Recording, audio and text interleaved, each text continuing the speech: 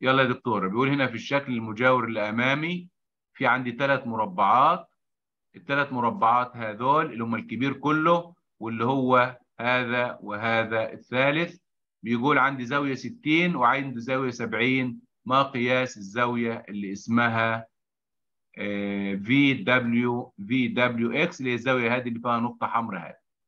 في عندنا حاجة في الرياضيات بتسمى حاجة اسمها تبادل داخلي.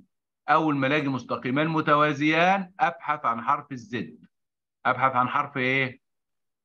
زد الزد حرف الزد ده إن الزاوية دي والزاوية دي قد بعض بالتبادل الداخلي بس لازم يكون عندي توازي. طيب هعمل إزاي بقى الحين؟ هعمل بعض الأعمال أو بعض الخطوط في الرسمة. أجي على الزاوية 60 هذه وأجيب هنا خط اللي هو ده. شوف هنا أسوي هنا خط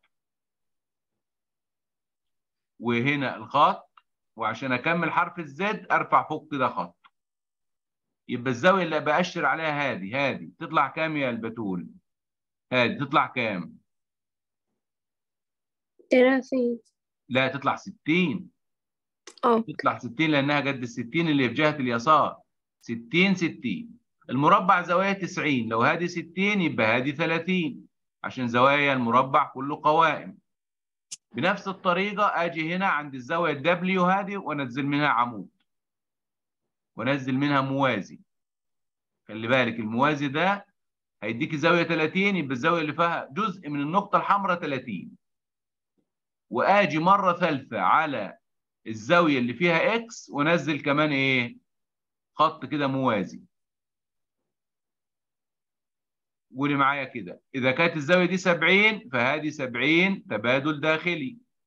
زوايا المربع كلها تسعينات يبقى هنا 70 يبقى الزاوية هذه 20 ولو هذه 20 يبقى هذه 20 تبادل داخلي.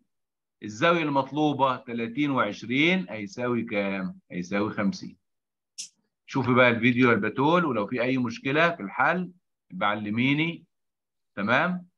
إن شاء الله. هتشوف الفيديو مرة واثنين وثلاثة عشان تفهميها بزيادة وتركزي على موضوع حرف الزد. شكرا.